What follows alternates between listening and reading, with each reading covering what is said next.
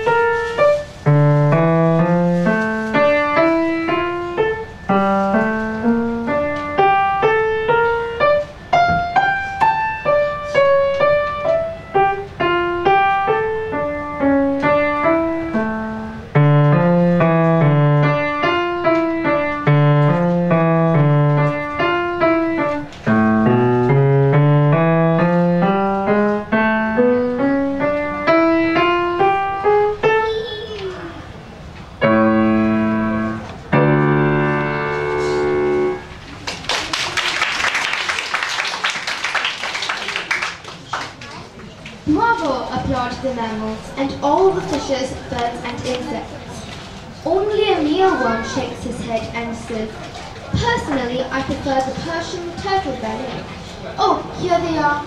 Look how rhythmically they lift their legs.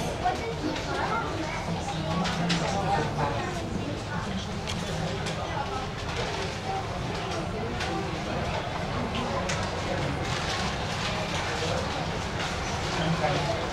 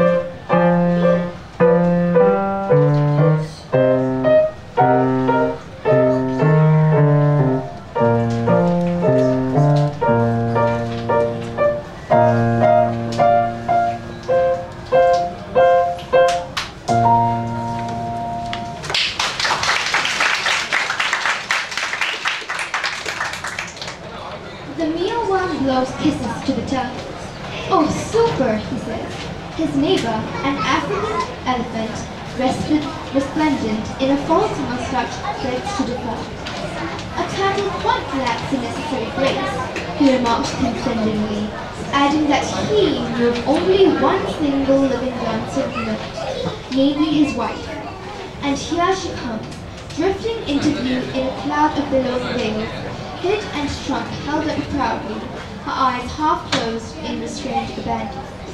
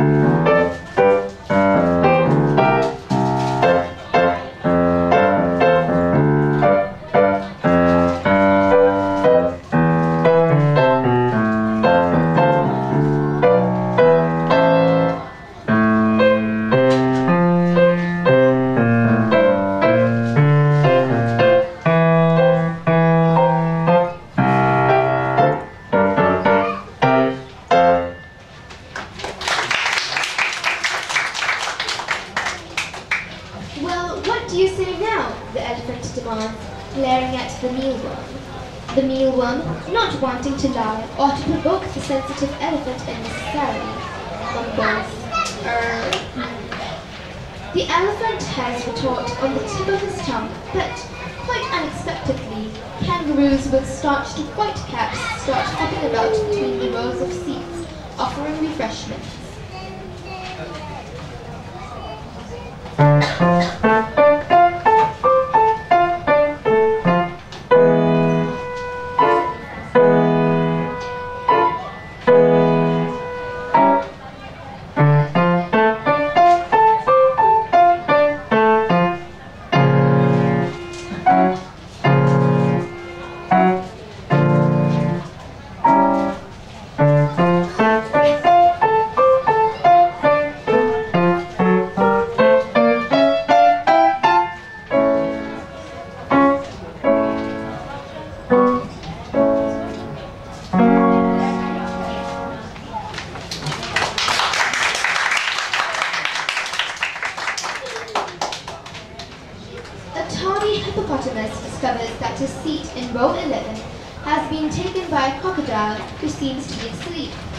For a moment, the hippopotamus listens to the crocodile's steady breathing and then very casually sits down on the rear end of the bank. Meanwhile, the four donkeys have carried a spherical aquarium into the ring. Seven salmon pink Japanese angelfish are swimming round it in circles, letting strings of silvery bubbles ascend, while trying to smile.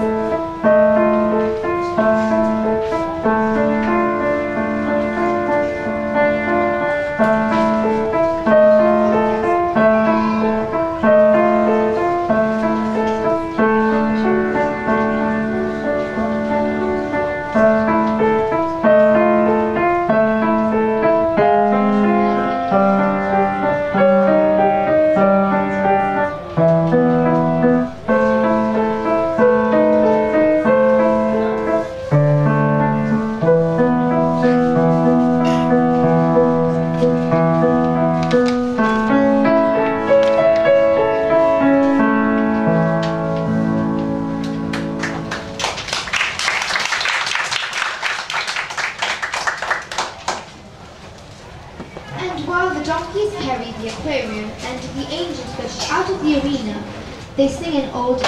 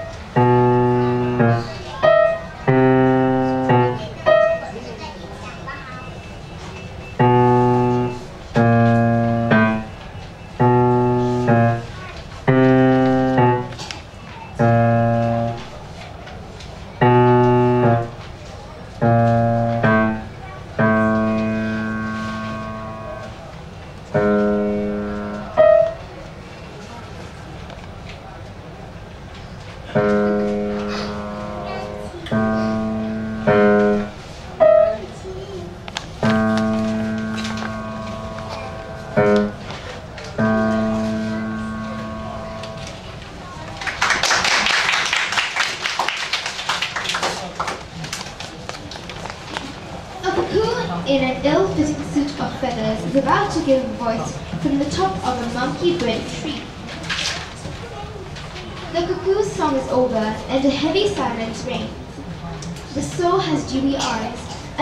elephant, the hippopotamus as well, and the fox, the mole, and the mealworm too. Is it the swan's turn now? The three young cats ask. No, the hummingbirds, says the old cat. Just look, two thousand hummingbirds.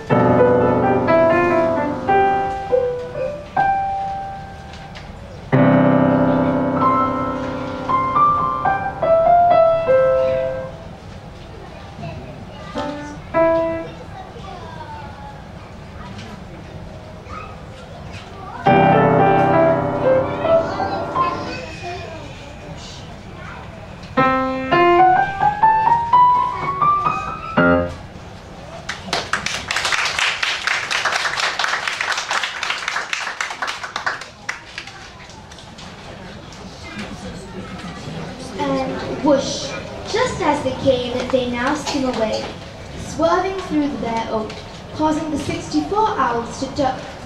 Is it the swan's turn now?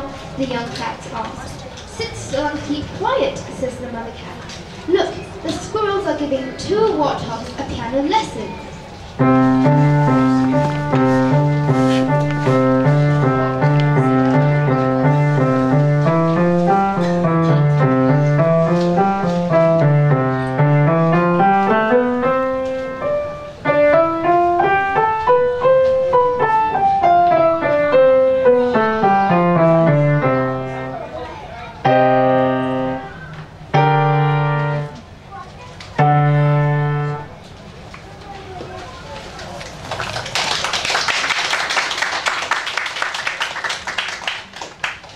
While the squirrels and the warthogs are still holding hands and bowing gracefully, a portly, a portly beaver steps forward.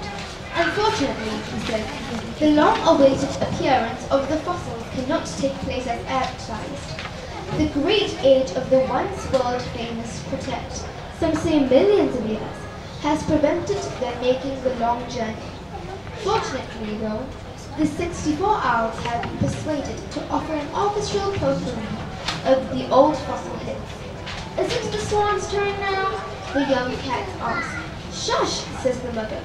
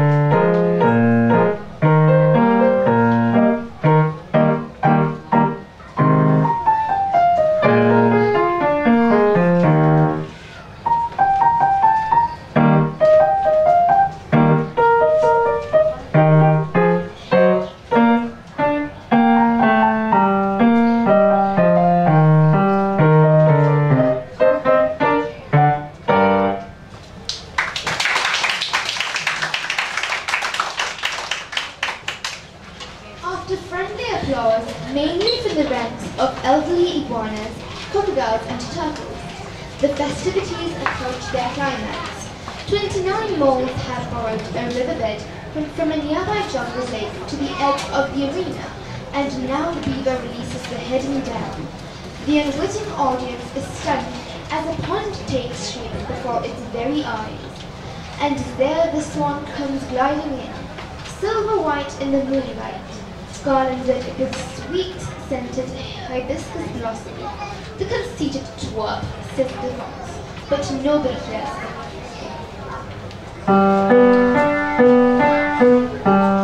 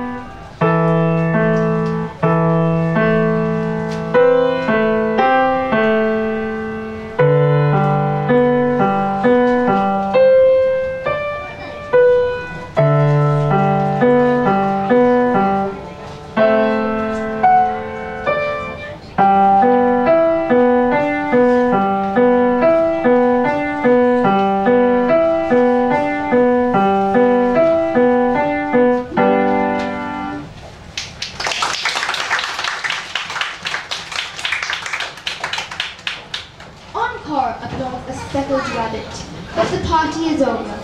The lion gives the signal to disperse. For the last time, the marabou raises his baton. The squirrels paw the keyboard. The owls run in. The lion strides to the exit, and with him the elephants and pigs, the beavers, moles, meal, mealworms, kangaroos, cats, and turtles, the donkeys, hens, foxes, and hummingbirds. Hopping and chirping, they fade away into the jungle to return to the hills and valleys whence they came.